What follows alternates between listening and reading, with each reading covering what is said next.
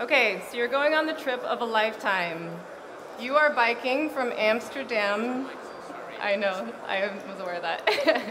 All right, so you are going on the trip of a lifetime. You're biking from Amsterdam to Beijing. You've got your bike, your bags, your gear. But how do you know where you're going to stop along the way? Where to get water, the best kebab, where to fix a broken tire? How do you keep all of your careful pre-trip planning organized so you have it at your fingertips when you need it the most? Travel planning is time consuming and inefficient because resources are scattered both online and offline, and tools to keep plans organized are limited or non-existent.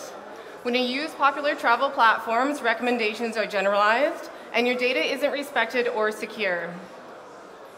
Wanda lets you create social trip maps, which can be reused or adapted by other travelers within your network. Travelers plan trips based on their own personal interests by attaching notes, links to resources, and media to each location. This gives them a personal itinerary they can navigate with at their destination, which can be shared or embedded anywhere for reuse by other travelers within their niche. Travelers earn for adding information and sharing maps, as well as any user data they allow us to collect.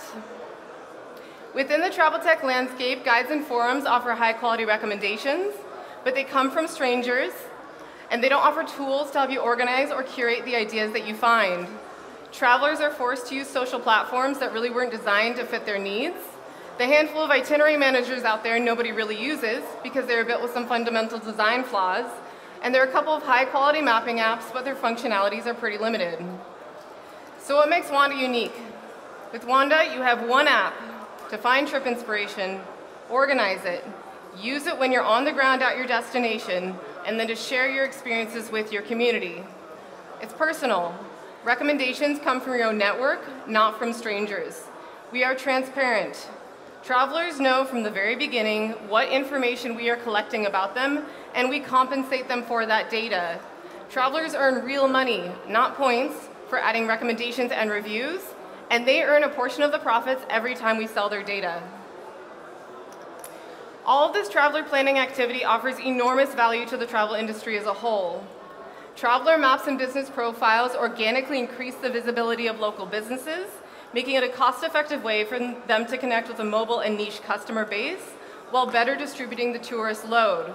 We also fill in critical traveler journey data gaps, Right now, destination marketing organizations have little or no data on traveler dispersal or behavior once they get to their destinations, and they lack a scalable solution to manage over-tourism in popular areas. Wanda offers this data and a mechanism for tourism distribution in a fully ethical manner. Our business model is multifaceted. We take a commission for all purchases made on our marketplace.